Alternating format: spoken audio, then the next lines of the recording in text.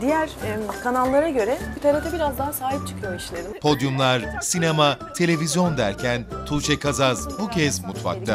Ha, demek ki konuşmamamız gerekiyormuş. E, tamam ben de onu anlamış oldum şu anda. bir aşk filmi falan dedi. Hay Allah. Dalyan köfte ve sebzeli erişte için kolların sıvandığı ünlülerle ekonomik tarifler, pazar, TRT Haber'de.